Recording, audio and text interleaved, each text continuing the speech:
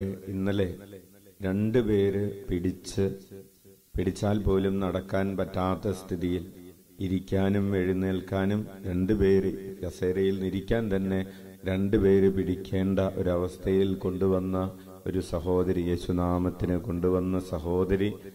അപ്പോൾ തന്നെ എല്ലാവരും കൂടെ കൂടി നിന്ന് വിളിച്ച് പ്രാർത്ഥിച്ചു. ഇപ്പോൾ ഒരാളുടെയും സഹായം കൂടാതെ രണ്ട് മാസമായിട്ട് കിടപ്പിലായിരുന്ന സഹോദരിയാണ് ഇപ്പോൾ ഒരാളുടെയും സഹായം കൂടാതെ നടക്കാൻ പറ്റുന്ന വിധത്തിൽ കർത്താവ് ഇന്നലെ തന്നെ സുഖപ്പെടുത്തിയിരിക്കുന്നതിനെ ഓർത്ത് നമുക്ക് കൈയടിച്ച് കർത്താവിന് നന്ദി പറയാം. നമുക്ക് സഹോദരിയുടെ സാക്ഷ്യം ഈ പ്രഭാതത്തിൽ നമുക്ക് ഈശോ പറഞ്ഞു. കടുകുമണിയോളം വിശ്വാസമുണ്ടെങ്കിൽ ചെക്കമീൻ മരം വേരോടെ വിഴുതെറിയപ്പെട്ട് അത് കടലിൽ ചെന്ന് പതിക്കുമെന്ന് പറഞ്ഞതുപോലെ നമ്മളുടെ കടുകുമണിയോളമുള്ള വിശ്വാസത്തോടുകൂടെ നമ്മൾ പ്രാർത്ഥിച്ചു. സഹോദരിക്ക് രണ്ട് മാസം കിടപ്പിലായിരുന്ന സഹോദരി രണ്ടാൾ പിടിച്ചാൽ തന്നെ നടക്കാൻ പ്രയാസമുണ്ടായിരുന്ന സഹോദരി ഇപ്പോൾ ആരും പിടിക്കാതെ തന്നെ അല്ലേ?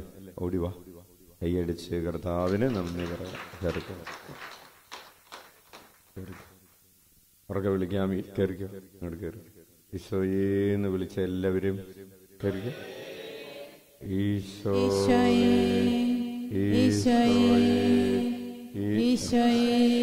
കൈവിട്ടോ. ഈശോ ഈശോ ഇപ്പുറത്ത് ഈശോയേ. സഹോദരിയുടെ സാക്ഷ്യം നമുക്ക് നമ്മുടെ വിശ്വാസ വർധനവിന് വേണ്ടി ഇരുന്നു കൊണ്ട് ഇരുന്നു കൊണ്ട് നിന്നുകൊണ്ടോ കേൾക്കാം. എന്റെ പേര് ഫ്രാൻസിസ്. ഇത് എന്റെ ഭാര്യ ത്രസ്യമ്മ. ഇവിടെ വളരെ വർഷങ്ങളായിട്ട് കൈക്കും കാലിനൊക്കെ വേദനയാണെന്ന് പറയും. അപ്പോൾ എന്തെങ്കിലും മരുന്നൊക്കെ മേടിച്ച് കൊടുക്കും അത് പുരട്ടിക്കൊണ്ട് കിടക്കും. ഇപ്പോൾ രണ്ട് മാസമായിട്ട് തീരെ എഴുന്നേക്കുകയില്ലായിരുന്നു. കൈയൊക്കെ ഭയങ്കര വേദനയായിരുന്നു. തീരെ എഴുന്നേക്കാൻ ഭയങ്കര ബുദ്ധിമുട്ടായിരുന്നു. ഇപ്പം ഇന്ന് രാവിലെ ഞങ്ങൾ പിന്നെ കോഴിക്കോട് ഞരമ്പ് വലിച്ചിരുന്ന ഒരു ആസ്പത്രിയുണ്ട് ഒരു ഡോക്ടറുണ്ട്. യുനാനിയാണ്. അയാളുടെ അരിയെ പോകാമെന്ന് പറഞ്ഞ് ഇരുന്നതാണ്. രാവിലെ അപ്പം മൂന്ന് മണിക്ക് വെളുപ്പിന് മൂന്ന് മണിക്ക് പോകാൻ വേണ്ടി ഞങ്ങൾ തയ്യാറായതാണ് അപ്പം ഇന്നലെ പുറത്തുനിന്ന് എനിക്ക് തോന്നി ഏതായാലും അച്ഛനെ കണ്ട് ഇവിടെ വന്ന് പരിശുദ്ധ അമ്മയുടെ മുമ്പിൽ മുമ്പിൽ ഒന്ന് മുട്ടുകുത്തിട്ട് പോയേക്കാം എന്ന് മനസ്സിലൊരു വിചാരം തോന്നി. രാത്രി എട്ട് മണിയായപ്പം ഞങ്ങൾ ഇവിടെ വന്നു. ഇവിടെ വന്ന് എട്ട് മണിയായി അച്ഛൻ എട്ടരയായി അച്ഛനെ കാണുമ്പോൾ ഇവിടെ വന്ന് പ്രാർത്ഥിച്ചു. പ്രാർത്ഥനയുടെ സമയത്ത് തന്നെ തമ്പുരാൻ എന്റെ എന്റെ ഇണയെ സൗഖ്യപ്പെടുത്തി. ഞങ്ങളത് സാക്ഷ്യപ്പെടുത്തുന്നു. പരിശുദ്ധ അമ്മയുടെ മഹത്വത്തിനായിട്ട് സാക്ഷ്യപ്പെടുത്തുന്നു. അതെ. ആ.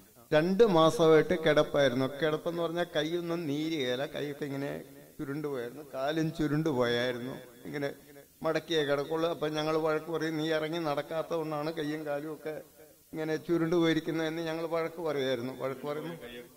ഓക്കെ കൈയൊന്ന് പൊന്തിച്ചു.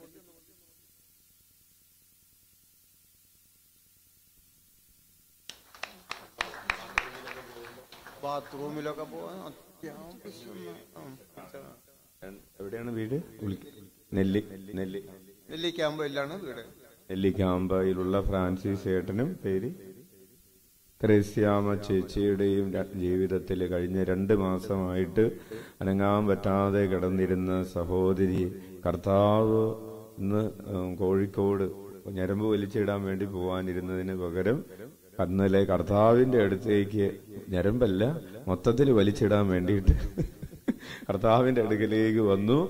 കർത്താവ് വലിച്ചിട്ട് കൊടുത്തു. ഹാലേ ലുയ്യാം പൂർണ സൗഖ്യത്തിൽ ഓടിച്ചാടി നടക്കാനായിട്ട് വേഗം സാധിക്കട്ടെ എന്ന് ഇപ്പൊ പിടിക്കാതെ നടക്കാൻ പറ്റാൻ തുടങ്ങിയിട്ടുണ്ട്. എഴുന്നേക്കാനും നടക്കാൻ കൈയൊക്കെ വിട്ടു. ആ അല്ല കൈ പിടിച്ചൊന്നും പ്രശ്നമൊന്നുമില്ല. ഹാലേ ലുയ്യ പ്രൈസ് ലോഡ് ഹാലേ ലുയ്യ നമുക്ക് പ്രാർത്ഥിക്കാം. അത്ഭുതങ്ങളും അടയാളങ്ങളും പിടിക്കാതെ ഇറങ്ങട്ടെ പിടിക്കാതെ ഇറങ്ങട്ടെ. സംഭവിക്കും കാലമല്ലു. കൈയടിച്ച് കർത്താവിന് നന്ദി പറയാം അവർക്ക് വിളിക്കാം ഈശോയേ. എല്ലാവർക്കും നല്ലൊരു ദിവസം നല്ലൊരു തിങ്കളാഴ്ച.